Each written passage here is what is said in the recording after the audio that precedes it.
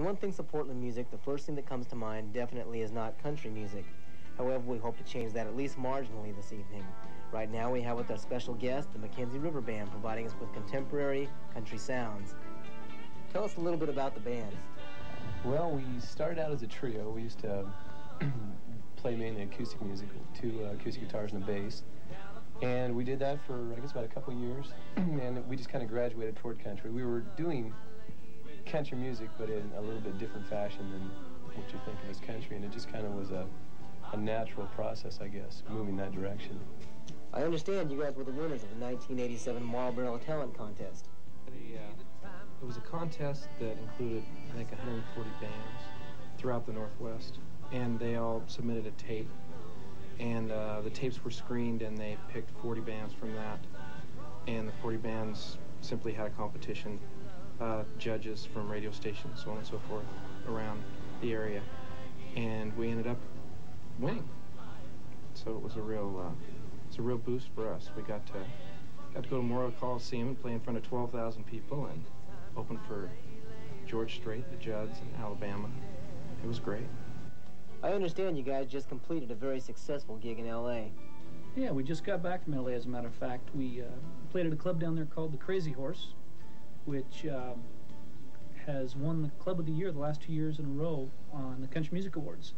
We had a two-week engagement down there and uh, got to play in front of a bunch of LA people and some record execs, and uh, it was great. It was really good for us, good experience for us.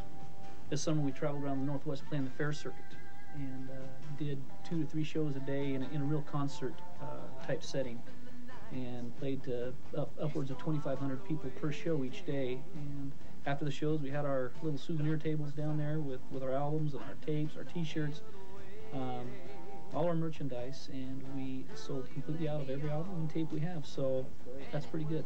We're really happy about that. Could you please tell us a little bit about the song we're about to hear? Well, it was a song that was sent to us by uh, Marty Gamblin, who's Glen Campbell's manager, and uh, nobody had wanted to really do anything with the song, which we found really surprising because we really liked it. So we basically made it into a Mckenzie River Band song, kind of our own version of it. And uh, we think it's a great song. It's going to be on our new album, hopefully, if it's one of the ones picked. And uh, we really, we really like the tune. All right, Joe. Let's have you introduce the next video.